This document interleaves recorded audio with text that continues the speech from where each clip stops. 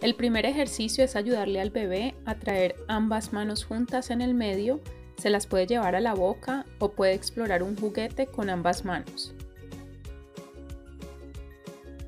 Permite que tu bebé explore sus manos y juguetes trayéndolos a su boca. Es así como tu bebé explora sensorialmente su entorno, además de usar su visión y audición. Ayúdale a voltearse de boca arriba a medio lado y juega en esta posición.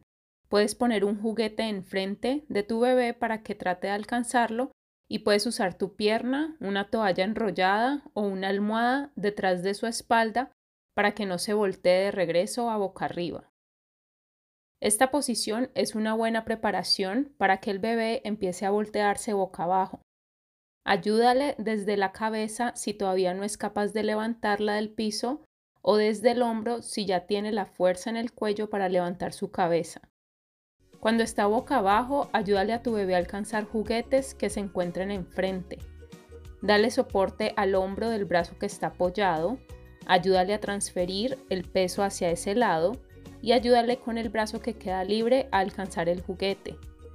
Puedes ayudarle desde la axila o desde debajo del brazo. Aquí te dejo más videos de otros ejercicios que puedes hacer con tu bebé.